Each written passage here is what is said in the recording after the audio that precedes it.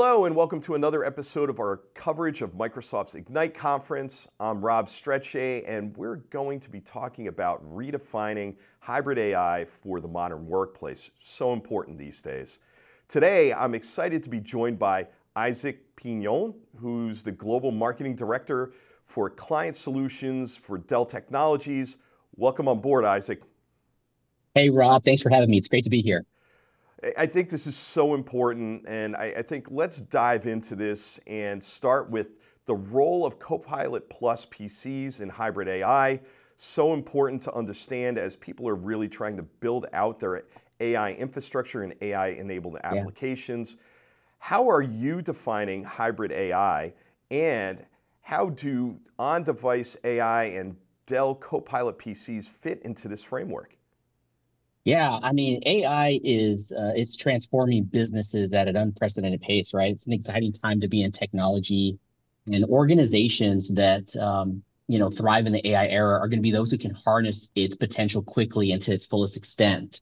So Dell views um, the AI world as hybrid, a combination of cloud, on-prem, and edge, all the way down to the PC. And hybrid AI combines the strengths of you know, cloud-based AI application for large-scale processing. Um, and, and on device is really for real-time, secure, and efficient operations, right? So the modern workplace is going to shift mostly into hybrid. Some of those workloads will continue to live on the cloud. And, and we're seeing a lot of software vendors that are going to shift some of those AI workloads into the device. The next generation of applications um, are all being written for the NPU enabled machines. Um, there are some ISVs and partners that we work with today that are already using them today, right? And so you're seeing cool things like anomaly detection running in the background. You're seeing some content creation and gaining some efficiencies in some of those applications out there.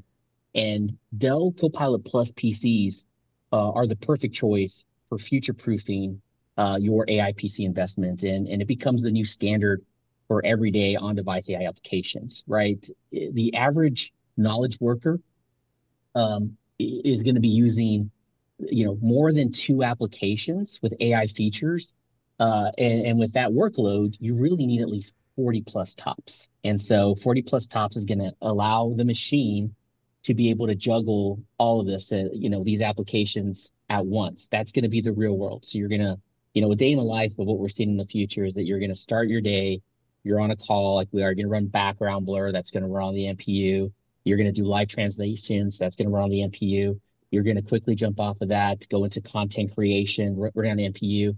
All the while, anomaly detection is running in the background.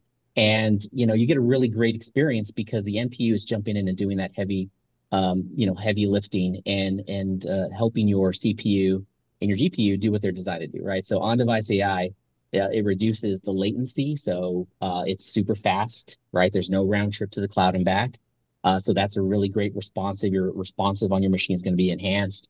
Um, and then it ensures that your data uh, and your your privacy uh, is is secure by processing tasks locally. So again, no round trips to the cloud and back, so less chance of your information being exposed. Yeah, I mean, let's stick with that because I think data sensitivity is really a key, and, and people, you know, understanding AI runs on data and you know making sure it's secure and things like that. But from your guys' perspective, why is on-device AI so critical for industries with sensitive data?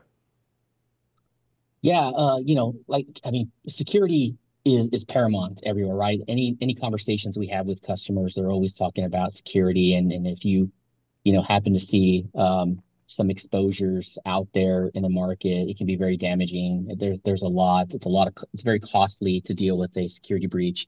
And so um, when you have on-device AI and an NPU, it's going to keep your sensitive uh, information like healthcare records or financial data local to the device, and it really reduces the exposure to cloud-based risk. So the application or the approach really supports compliance with data governance regulations while enabling advanced AI applications. Yeah, I would assume that's critical in industries like financial services and healthcare as well, especially where those records and PII has to be, you know, really held within. So uh, that, that makes a lot of sense to me. So let's kind of jump in now and kind of uh, you know ground the discussion. But let's begin and understand what are some of the real world applications of Dell Copilot Plus PCs. So, what are some of the practical use cases for Dell Copilot Plus PCs in a hybrid AI environment? Yeah, so um, so I'll start with you know most of these Windows 11 PCs come with Copilot um, on it already, and so um, that runs on the cloud. And so we recently announced a couple of new features, uh, or Microsoft recently announced a couple of new features. So you've got Copilot Vo- Voice, which makes interacting with your AI PC as easy as speaking to it. So you can say, "Hey, Copilot, you know, wake words." You can ask it questions, etc. And then there's also Copilot Vision, which offers guidance based on what you see on your screen, right? And there's some really cool campaigns out there where that they really bring that to life. So that's available across all Windows 11 PCs, right? So that's a cloud. That's a really great example of the cloud, right? And so Copilot Plus PCs, they bring out um, unique uh, on-device AI experiences, right? These are only available on the Copilot Plus PC, and they run locally on the device, right? So now we're talking hybrid. You've got Copilot if you if you want to go to the cloud, and then you've got these Copilot Plus experiences that help you work on productivity. So features like recall and click to do, which streamline your workflow, reduce the time spent on repetitive tasks, all running on the on device, simultaneously working with, you know, Copilot Chat, which is a text-based chat within Microsoft AI offerings that live on the cloud, right? So that's available on on the Copilot um, uh, offering on the OS. Then you got creativity, right? You can do on-device AI with Co-Creator, which enables both online and offline photo and video editing, background removal, and image generation, right? Uh, I don't know how many times I'm putting the deck together and I'm like, if I could just quickly remove the background uh, and make this look better, right? So that's all going to be faster. Um, all the while, you, you know, from a security standpoint, you get faster threat detection and response with local AI processing for advanced memory scanning as well. So those are really good examples of, you know, uh, hybrid working uh, working in concert with uh, Copilot and Dell Copilot Plus PCs. Yeah, so let's bring it back kind of to the end user experience here. So, how do these PCs enhance the user experience with resource intensive AI tasks? Because that's what people want to understand, to put it mildly.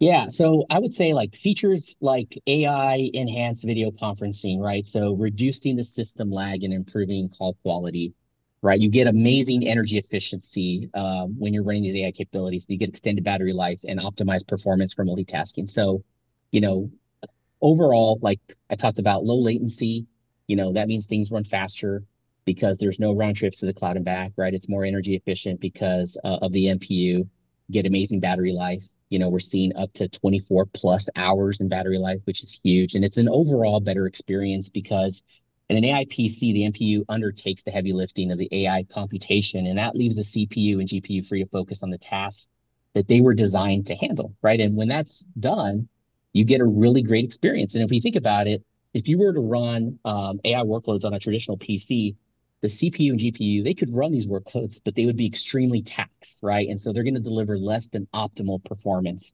So think back to running a modern application on your old PC you're going to see lagging and potential crashes, crashes, right? And so running AI workloads on an old PC can similarly burden your device, and that's just a bad experience for everyone.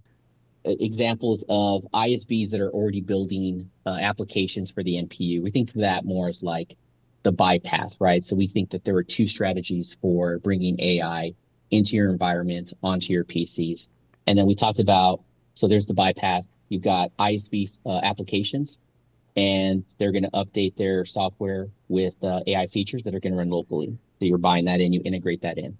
It gets really exciting is when you can build using your own data, using your own information to, you know, supercharge the, the workers um, in your organization.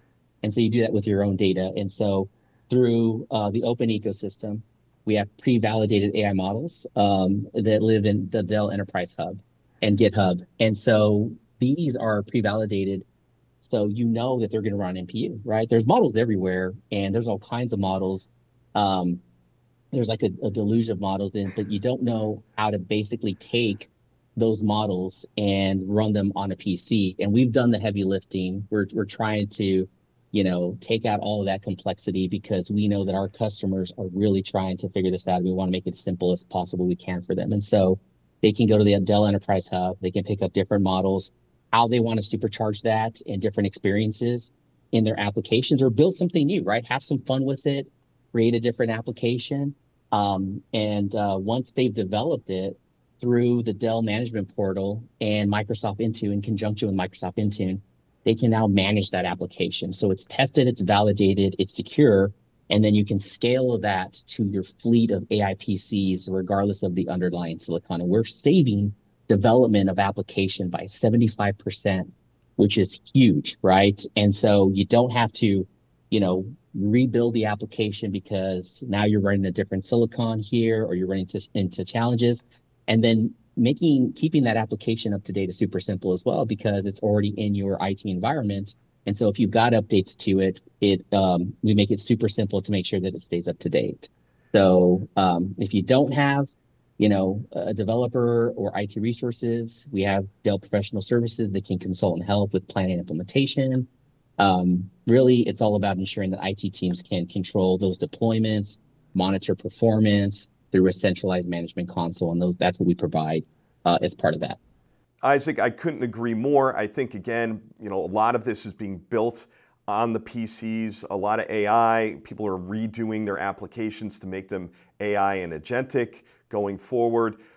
As people are trying to figure this out, uh, what should they do? Where should they go besides the floor here at Ignite to learn more? Great question, Rob. Yeah, uh, you know, if you want, if customers want to explore more about Dell AI PCs, go to dell.com forward slash AI PCs, and they could see our entire breadth of our AI PC portfolio from our standard AI PCs, Copilot Plus, and AI workstations. We've got it all. I know you do. Thank you for coming on board, Isaac. I really appreciate this. is such an important topic. Thanks for having me, Rob. I appreciate it. And thank you for watching theCUBE, the leader in tech analysis and news. Stay tuned.